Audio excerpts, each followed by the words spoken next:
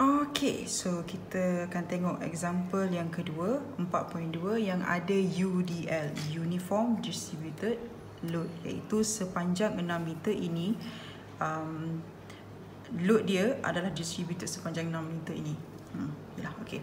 kemudian ini gambar rajah dia kita ada point load di 40 kN okay. 40 kN di A uh, roller di B pin di D. Okey, 446 not to scale. Kalau nak lukis scale silakan. Okey. Jadi saya ingatkan nak buat calculation terus. Tunjuk je lah macam ni gitu kan. Tapi uh, tak boleh, tak boleh, tak boleh. Okey, so sekarang cari support reaction. Okey. Saya prefer daripada kiri ke kanan tau. Kalau you all nak ambil um, kanan ke kiri pun tidak mengapa. Cuma yang penting adalah signage. Okay, so kiranya let's say kita take moment dekat B. Kita nak cari support reaction dekat B dan juga dekat D. Kita tahu sini adalah RBY. Sini adalah RDY. Dx is equal to 0. Tahu kan kenapa is equal to 0? Very good. Kemudian macam mana kita take moment dekat B is equal to 0. So 40 moment. Okay, B ada 40. So dia akan tolak counter clockwise sebab tu dia jadi 40 darab 4. Saya syurkan kalau awak rasa confused ke apa, memang awak akan rasa confused. Jangan tulis 40 darab 4 macam ni je. Kalau awak dah terror tak apa. Kalau awak belum, minta maaf cakap, tulis sekali dengan unit. Okey, moment sama dengan F darab L. Jadi kiranya 40 kilonewton darab 4 meter. Kilo newton meter moment settle proceed. Bila dah ada 40 tu dah ambil dah calculate kita akan ada 20 kilonewton per meter. Kenapa per meter? Setiap meter 1 meter itu berlaku 20 kilonewton. Okey dia jangan jadi kilonewton dot meter. Jangan salah salin.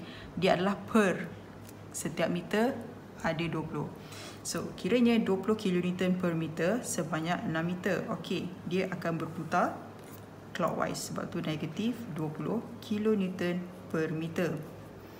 Nak jadikan dia force. Ini force tapi dia dalam bentuk meter. Kita, kita nak kilonewton saja. Kita kurung eh. Kita nak dia kilonewton saja. So, that's why kita darab dengan jarak dia adalah 6 meter. So kalau kita potong dia akan jadi force kilonewton. Tapi kita nak moment. Take moment dekat B tadi ni. Ha, force darab dengan length. Length yang mana? Daripada tempat dia berlaku ke tempat dia kita buat. Dan sini awak perlu tahu. Saya dah tak ada color lain. Apabila dia segi empat, dia punya center adalah di tengah-tengah. Iaitu di 3 meter dekat sini eh 3 meter. Ha, bukan 3 meter kat sini. 3 meter dekat sini. So kiranya kita akan darab dengan 3 meter campur 4 iaitu 4 campur 3 meter. So barulah dia akan jadi kilonewton meter. Sebab meter-meter potong kilonewton meter. That's why saya cakap lukit, tulis dia punya unit. Kalau tak awak just mana datang 4, mana datang 3, apa 3 mana 4? Jangan. Don't do that to yourself. Please. Okay, so settle. Belum. Ini RDY. Hence, your RDY adalah... Check balik betul tak 68 kN? Okay, so kalau betul, kita proceed. Saya assume betul lah eh. Total FY is equal to 0. Kita akan... Negatif 40 campur RDY kilonewton per meter darab 6 meter campur 68 kilonewton is equal to 0. Ni kenapa darab Ni kenapa darab 6 meter? Ya, sebab kita nak matikan meter. Kita nak kilonewton saja. Force kilonewton. Walaupun ya, ini adalah force tapi dia per meter. Kita tak nak. Ini dah kilonewton, kilonewton, ini kilonewton. Tiba-tiba awak nak kilonewton per meter. Don't do that. So, hence your RBY is equal to kilonewton.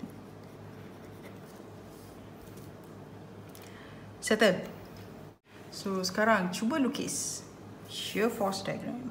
So daripada gambar raja awak terus direct buat shear force positif, negatif. Okey, kiranya di sini terus di point 0 dia adalah tolak 40. Turun saja 40.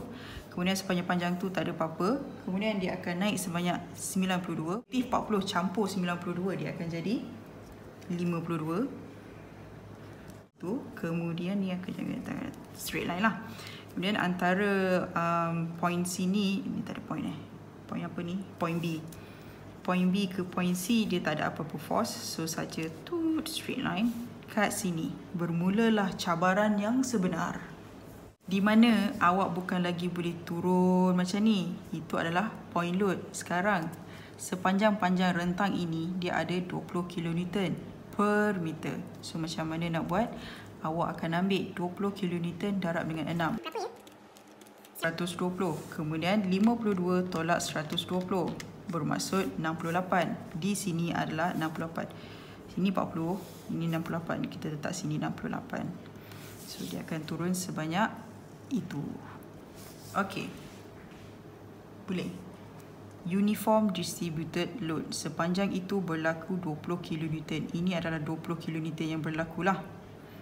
Okey. Sampai setahap di point D. Dia ada 68. Stop di situ. Sebab 20 darab 6 meter. Kemudian 52 tolak 20 akan jadi 60. Sorry. Ini adalah 50 tolak 20 darab 6 akan dapat di 68 so bila sampai sini point D ada naik 68 settle. 0 0 yay! Sini akan jadi positif. Eh ya Allah. Negatif positif positif negatif. Okey ketahuilah di sini ada satu point iaitu V is equal to 0 bila shear force is equal to zero, awak perlu tahu itulah yang berlakunya titik maximum moment. Okay. Okay, kita akan tengok macam mana nak cari semua ni. Okay, so sekarang kita ada satu point lagi di mana kita perlu cari berapa jarak ini. Kita panggil dia sebagai x prime. Okay. Kenapa perlu cari jarak ni? Sebab awak nak cari luas segitiga. Awak tak tahu jarak ni berapa. Sekali lagi, jangan assume ni tengah-tengah. Okey, walaupun nampak macam seakan je, jangan. Awak kena cari berapa x prime itu. Macam mana nak cari? Ah, time ni lah kegunaan awak punya kaedah potong-potong di mana awak perlu potong di sini. Yang berlaku antara uh, dekat 6 meter ni berlaku V is equal to 0. Okay. So that's why awak kena potong di mana-mana lah eh. Kita katakanlah kita potong di sini. Kita panggil dia section AA. So lukis section AA tu. Okay. Katakanlah ini section Lukis kecil pun tak apa. Janji awak lukis itu betul lah. Kan draw pun tak betul. Macam mana awak punya calculation. Sakit kepala nanti. V M. Okay. Ni 4 meter ini 4 meter, ini akan jadi X minus 8. Okey, jadi total Fy is equal to 0. Mak, tiba-tiba. Okey, jangan. Sabar. Negatif 40 campur 92 tolak 20 darab X minus 8 tolak V is equal to 0. Hence, V sama dengan 40. Kita terus terus kira itu akan jadi 50 x minus 8. So, kita nak cari x. Kita ada unknown satu v. V ni berapa? 0. When v is equal to 0, x is equal to, solve this one, you will obtain 10.6 meter. 10.6 meter ini adalah daripada kosong. Gerak sana, kiranya kira, kiranya 10.6 tolak 8, Yes, 26. 2.6. Okay, settle masalah itu. Bila sini 2.6, sini berapa? Okay, jadi bila awak dah tahu sini adalah 2.6, 3.4, bolehlah awak kira dia punya area. Cek kira, cek kira. Saya lukis balik lah ya.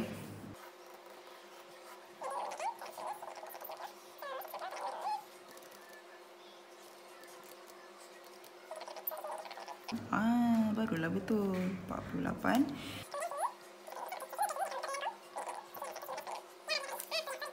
So, sini akan jadi negatif, positif. So, maximum moment ada dua di mana kalau berlaku di area negatif adalah 160 dan juga di positif adalah 115.6. So, inilah bentuk dia. Boleh? Boleh kan? Ini adalah BMD. Okay.